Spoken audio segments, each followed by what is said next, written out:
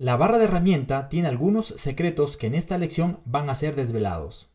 Empezaremos explicando los atajos de teclado para barras de herramientas. Si presionamos la tecla de Shift tabulador, se van a ocultar los paneles que están en la parte derecha. Si presiono tabulador, en cambio se van a ocultar todos los paneles que están ahí. En la parte inferior tenemos modos de presentación.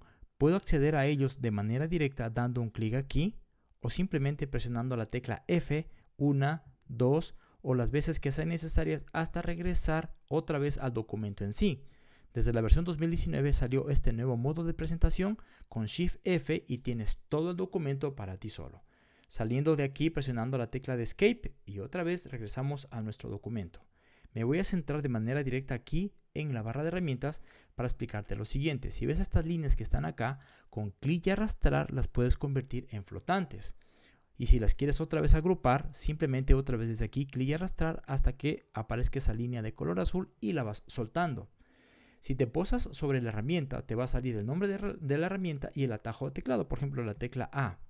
Aquí estamos en la herramienta de texto, la tecla T, que también es interesante.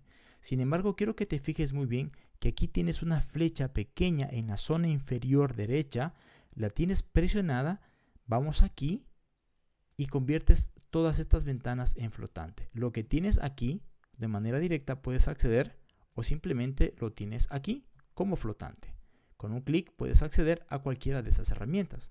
Ahora también hay otro atajo de teclado muy bueno y es este. Si presionas Alt click o Option click en una Mac, mira cómo puedes acceder a las herramientas de manera, de manera directa. Esto es simplemente espectacular.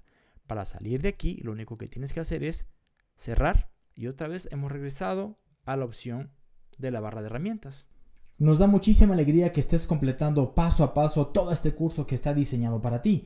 Te invito a suscribirte a mi canal, activar la campanita y nos vemos en la siguiente lección. Chao.